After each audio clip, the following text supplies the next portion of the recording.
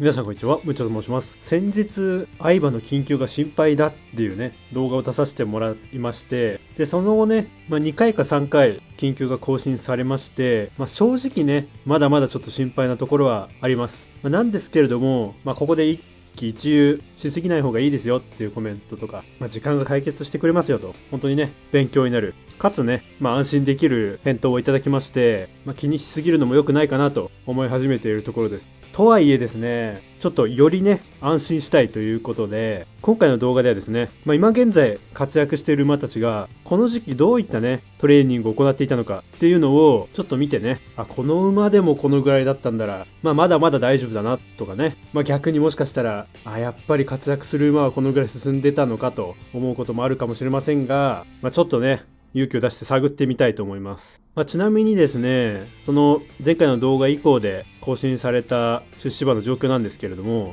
リオン・ラファールについては少しずつね、いい感じになってきました。まあ、馬体重も心配してたんですけれども、524キロまで戻ってきて、まあ、硬さがね、ちょっとあったっていうコメントもあったんですけど、一番最近の更新では、まあ、徐々に硬さが取れてきたと。まあ、とはいえね、馬体に関してはまだ全体的にゴツゴツした感じに映るのでと、もっと筋肉がついてくるのは理想です。馬体重が増えているように、調教を進めながら食べたものが身になってる印象を受けますと、健康的に見たらやはりね、この馬一番いいのかなっていうものがありますよね。まあ、特に休みもなく乗り込んできて、馬体重もね、移動してからまた戻ってきたということで、まあ、あとはこの筋肉がついてくればということでしょうね。これは時間が解決してくれそうな気もしてます。兄の活躍場ジェネティクスもね、ノーザン育成とはいえ少しね、時間かかっていたタイプのようだったので、そこはね、気にしすぎないようにしたいと思います。で、2頭目のジュレップグラスはですね、馬体重410キロと、まあなかなか増えてこなくてですね、そして気持ちの面がコントロールしづらいタイプということで、まあちょっとね、ここは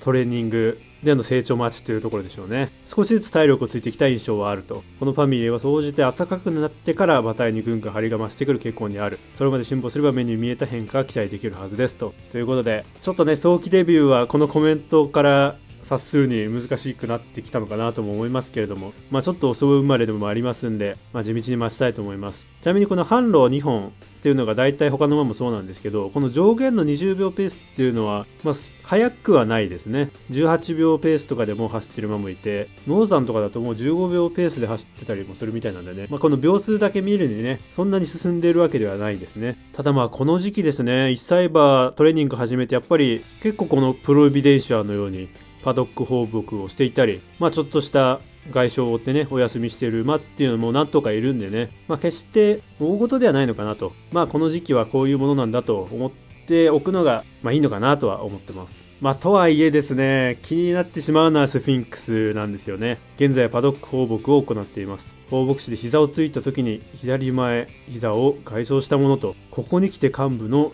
腫れが広がってきました。治療は毎日行ってますが、腫れが引くまでにはもう少し時間がかかる見込みですと。これですね、まあ、前の動画ではですね、多分ここまでだったと思うんですよね。疲労が溜まってきたのでお休みしていますと。で、その後ですね、騎乗再開して、なぜかこの馬もね、膝に外傷を負ってしまって、まあ、焦る時期でもないので、しっかりと治療に専念していきますとなってたんですけれどもね、そこから半月経ってもなかなか回復してこないというところで、ちょっと心配ではありますよね。もうこの最初の更新からしっかりと乗り込んだ時期が2ヶ月間ないわけですから、ちょっと遅れ気味かなっていうのは正直ありますよね。ただまあこれからね、その活躍馬、この時期どうだったのかっていうのも見ますけど、まあこういう馬ももしかしたらいたかもしれませんからね。まあ、期待のマクシュ3区、決闘的には特に注目している1頭ですんで、本当にノルマンディファームの方には頑張っていただきたいと願っております。そして最後の1頭、ラブユーがですね、まあ、実はこちらもね、ちょっとお休み中なんですよね。現在、ウォーキングマシン1時間のメニューで調整していますと、このウォーキングマシンっていう言葉をね、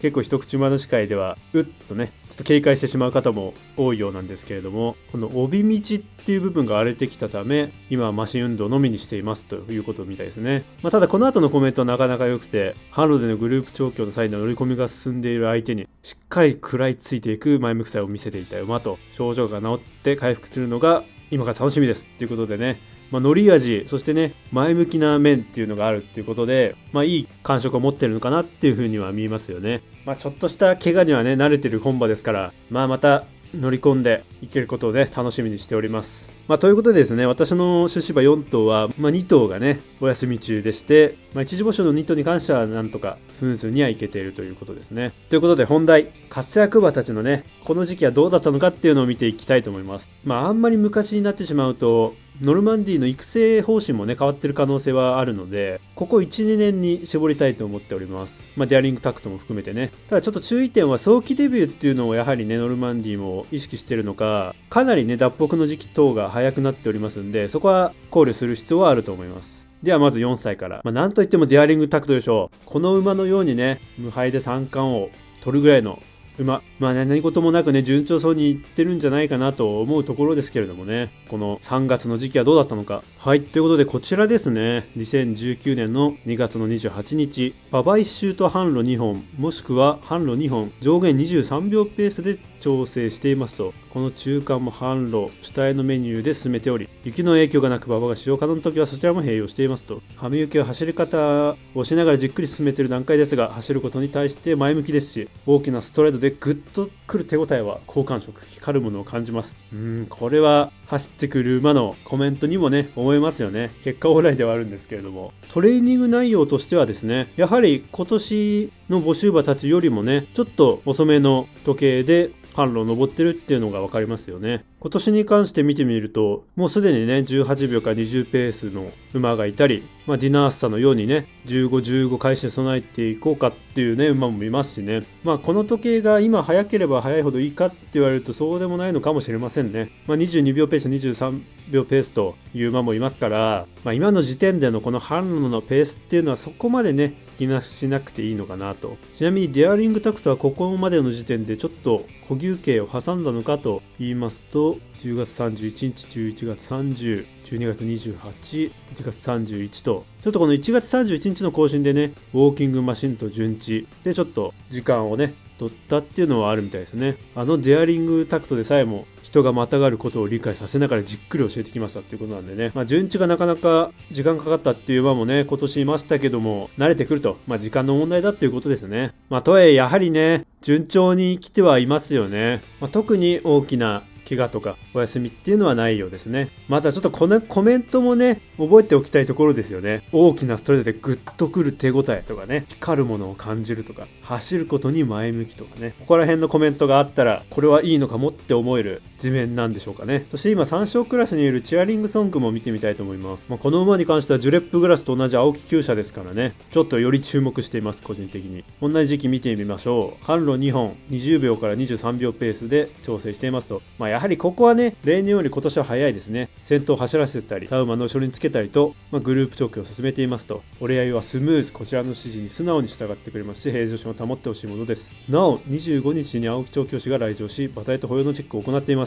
地味にここがですね、まあコロナ禍っていうこともあるんでしょうが少ないですよね。結構調教師さんが見に来ましたとかっていう近況がね、前年度までは多かったんですけども、今の募集馬たちっていうのは、今のところね、ラインナップに入ってからは見てない感じがしますね。見に来て馬が頑張ろうっていうのはないと思うんですけども、チェアリングソングに関しても、特にね、大きなお休みとかっていうのはなかったのかなという感じはしますね。ちなみに先日オープン入りしたバンクオブクラウズもね、見てみたいと思うんですけど、実はこの馬3次募集でして、初めての近況更新がね、4月なんですよね。ただ、その内容もなかなか好感触でして、2019年4月30日、18秒ペース、週1、15秒ペースで、女性と昨年夏くらいに生産部門のスタッフからサマーロコガールの17は馬っぷりが良いと聞いていましたが秋にこちら移動してきたら想像以上でびっくりしましたと。立派な馬格でしたんでこれならすぐに募集を開始しても人気になったと思いますと。うちで一番力のあるスタッフが騎乗しても通常ペースだと抑えるのに苦労するぐらいですし追い切りの動きも徐々に良化大型馬で足元に不安なく調教開始からここまで行ったって順調に乗り込めていますと。まあ今の活躍を見るとですねやっぱりトレーニングの進んだ3次募集のこの近況っていうのはかなりね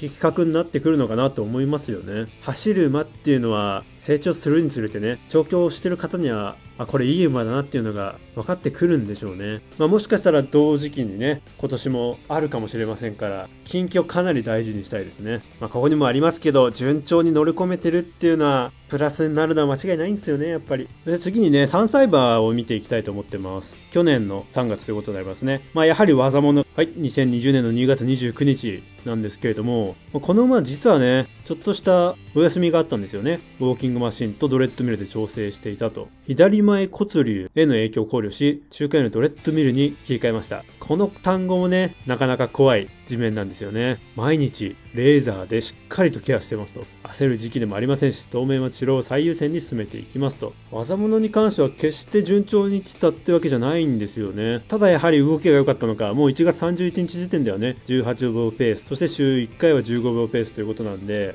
まあ、このペースは今の今年の募集馬たちの中でもかなりトップぐらいの進み具合ですよね。まあ、とはいえ29日とこの35日の更新、まあ半月以上はね、お休みに当てていたっていうことを考えると、まあこちらにもありますけどもね、焦る時期でもないのかなっていうのがよりね、わかるんじゃないでしょうか。3月31日の更新で20秒ペースになったんですけども、すぐにね、小野町に移動してますね。まあ、決してペースが速ければすぐに脱北するわけではなくて、まあなんでしょうね、ゆるさとかっていうのを見てるってよく言いますよね。出来上がってきたとかね。まあこれはもう牧場の方にしか正直わからないところですよね。まあただそのお休み等もね、あったにもかかわらず10月にデビューして4着、そして未勝利戦で勝つぐらいのね、仕上がりには持ってきているわけですからね。まあ今の時期、お休みを取ることは決して悪いことではないと、この馬をね、見ていると思いますよね。そして最後に、ルクシオンをね、ちょっと見ていきたいと思います。まあ、無事だったら一番現3歳で目立つ走りをね、今してくれていただろう馬ですからね。まあ、この馬に関してはね、熊本さんとはいえ、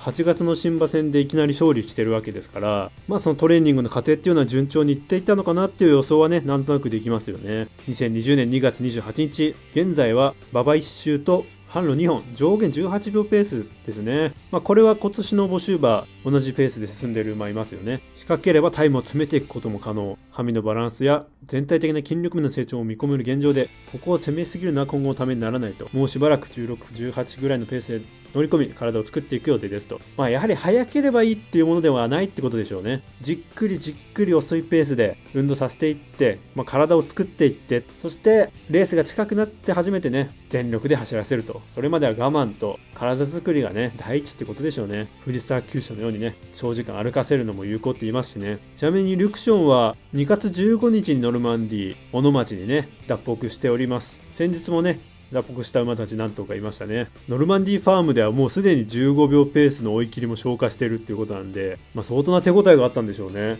今のところディナースタ以外で15秒を目指している馬はいましたかね、募集馬で。まあやはり早めのね、デビューを考えてる馬は早めの小野町移動っていうのを考えてるみたいですね。まあ多分ですけど同じ販路のタイムでも小野町の方がよりね、きつい角度になってたりして、ハードなんでしょうね。はい、ということでね、仕事を見てきました。まあ、今年に関してはよりね、脱北が早くなったりしてますよね。まあ、デアリングタクトの世代と先ほどのルクションの世代でもね、ペースが少しずつ速くなってるのも分かりますし、まあ、やっぱりクラブ全体として新馬戦に合わせて早め早めのトレーニングをしてるのかなっていう印象はありましたね。とはいえまあ、まだちょっとした休憩だったりね、外傷っていうのは子馬ですんで、あると、そんなにね、気にすることはないっていうのがね、分かったんではないでしょうか。まあ私が一番気にしすぎだっていうのはわかるんですけれどもね、より落ち着いてね、相葉の近況更新を、まあもちろん一喜一憂しながらね、楽しんで見ていければいいなと思っております。まだまだこれからっ